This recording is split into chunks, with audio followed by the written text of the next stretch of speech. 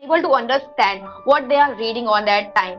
So, I, how can we start their journey of the English? Because everybody just wants to learn English, but uh, and the how that is the question rise up to every mind. How? So that is the question. Uh, can, how can we start? What is our first step? And you know what? Uh, when I started learning spoken English, I did this one thing that I used to take one topic, like a very small topic, let's say uh, my laptop or my school then I used to speak on that topic for two to three minutes, and that would improve my spoken English. So these are the things that I did, and I also um, and I also think that reading is a good way to improve. I'm from the state of Chhattisgarh. I live in the town of Bhilai. And what about you? Uh, I belong to Uttar Pradesh, and I'm staying here at Kanpur. Hmm. Okay. Great. Okay. Mm, so, would you like to tell me about yourself? Uh, first of all, I would like to introduce myself. Thanks for giving me this opportunity. Well, my name is Amansi Bajpayee, and in this time, uh, last year I completed my Master of Arts from the subject of English Literature and Dayanand Negru Mahavidyalaya University at the Kanpur. And now I'm just doing a job like a trainer of the English trainer. I'm just teaching a student of the English trainer who just want to learn English. Okay. okay. That's great. Yeah. Okay, now let me tell you something about myself. Um, as you know, my name is Arundhati Roktima. I'm 13 years old right now. I study in grade 8th and um, I live in Bhilai, I already told that. And my hobbies would be reading books and painting. Wow, that's good. Actually, your age is not uh, elder. That's why I'm just uh, very, uh, when I'm watching your video, I just started, wow, what's the English of yours? Thank you uh, I just want to know uh, that is any background of the English. I mean, you just study of the English medium school. Uh, yeah, I study in an English medium school. Okay, so all students are average. Yeah, you are much better than. Mm, I feel like in theoretical grammar, I mean, in the exams when we have to write the theory, theory of grammar, then everyone is okay, they're good. But when it comes to spoken English, I feel like I am a little better than the others because we don't really talk in english at school. So uh, we don't have a practice at school for spoken english. So that's why. Yeah actually i have uh, watched a really lot of videos uh, for the conference so that's why i'm excited to just making a video with you. Okay just tell me uh, which topics we have to just improve our english for our audience? Mm, i couldn't get it. Could you just repeat that yeah i'm saying uh, which topic we we have to do this for our, improving our english? I feel like we should focus a little bit on improving our grammar so that we just know the basic grammar uh, like nouns verbs and especially i would say active passive voice and uh, verbs like would and could modal verbs and all these things are important because then you'll be able to form your sentences properly.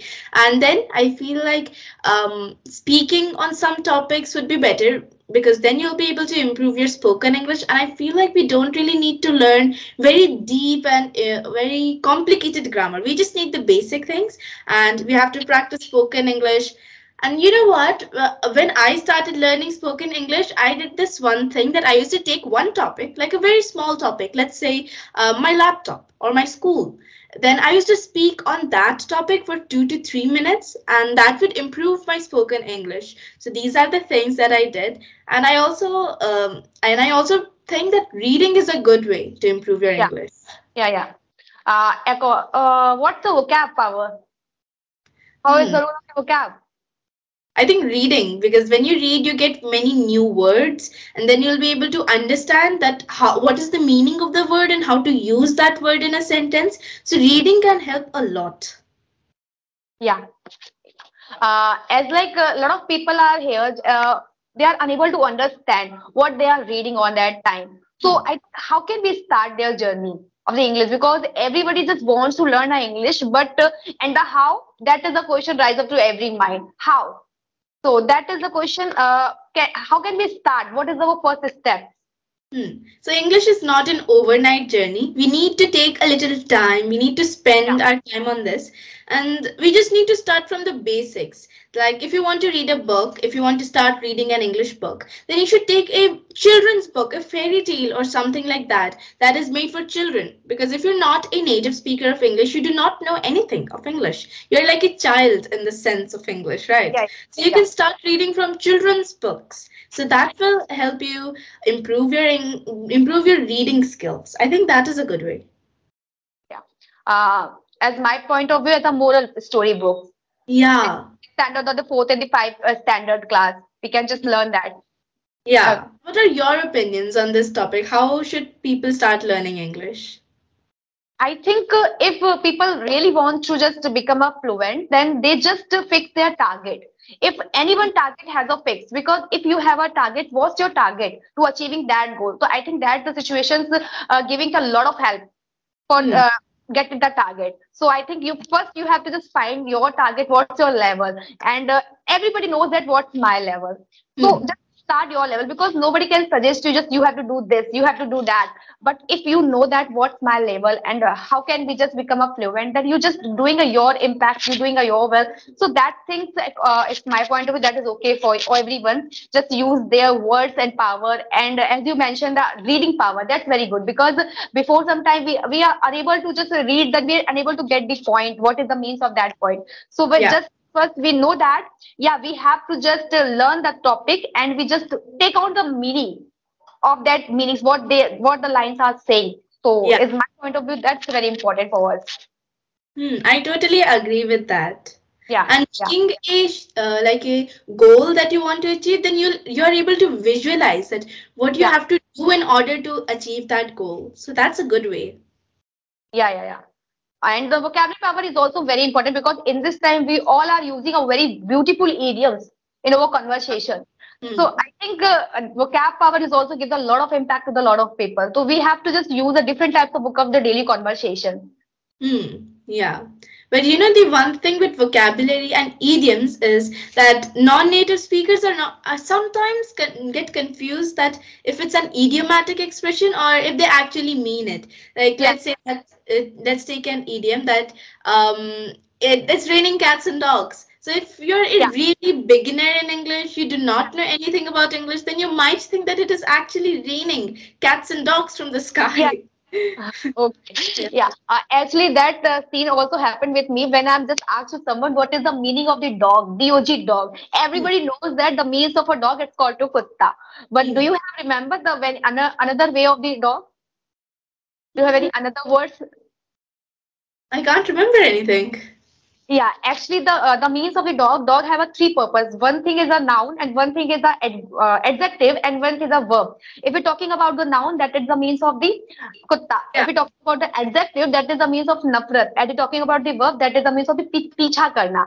So that is three different way of the dog. So when i'm just asking to anyone everybody has to go to confuse it. What is the yeah that is the real then they find the google. Yeah absolutely this is a real. So that is a dog the purpose so the means of the dog, uh, picha karna, grana karna, and a lot of things are happened. And as the same meaning of the belongs to the category of the cat. What is the means of the cat? Everybody knows that the cat means it's a billy, but that's yeah. called animal vocab. But if we're talking about the cat means a dangerous woman is also.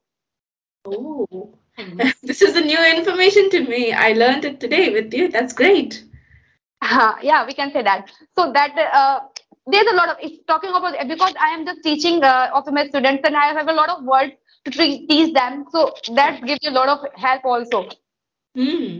Uh, okay, so which standard you are? I'm in eighth standard. Wow. Um. Okay, so is there a lot of your parents just making a video of the YouTube? yeah, they know it. Yeah. Okay, because uh, they also feel proud to you. To you. Hmm. Yeah. Okay. So what's about your friend journey? Hmm. Uh, so you're asking in the sense of English or just general? Uh, uh, if you're talking about the English, that is also okay. Hmm, okay, so I think that uh, my friends, um, they they do not really focus on spoken English, but I feel like I have had some influence on them now. I guess. Yeah, yeah. Because when a lot of people just watch you, then they said, no, yeah, I can also speak in English. Yeah. Hmm. So there is this friend of mine who uh, always talks in English in school because she's South Indian and she's not really comfortable in Hindi. So I think she has also helped me a lot in spoken English. Okay, so uh, what's your native language? Uh, it's Hindi. It's Hindi. Okay, okay, okay. Okay, so you are aware of the Hindi also. Yeah. Okay, Hindi and English and another language, you know that? Uh, yeah, I know Bengali as well, a little bit. Okay, okay, okay. Hmm. Okay. So, uh, what are the languages that Yeah. you know? Sorry? Uh, what are the languages that you know? Uh, I'm just uh, know that only two language, Hindi and the English. And if you Hmm. talk about English, that is also I know that English. Everybody knows that the language of the English. But Yeah. uh, but if you're talking about the, I think uh, you don't hear the- about the language stenography. Hmm, no, I've never heard of it. that is a coding language. That is a Oh. coding language. We can just uh, understand for the writing language. We just write something, then we can understand. It's not a spoken language. This is a written something a language. The coding Okay. language. Nice. Yeah. So, Okay. Is there? else you would yeah. like to ask? Uh, I think that is enough. And do you want to ask anything? No, I don't have anything on my mind right now. Okay, okay, okay, okay. Okay, so can we cut the session right now? Yeah, it was great talking with you. Okay, thank you for joining me. You're welcome. I, I was really glad I could have a conversation with you. I- I'm also because uh, I'm very eager for this because I'm sending a lot of emails to you. Uh, Yeah. That's just uh, yeah, I'm very eager for this. Okay, okay, okay, okay. Thank you. Bye bye. Yeah, bye bye. Okay.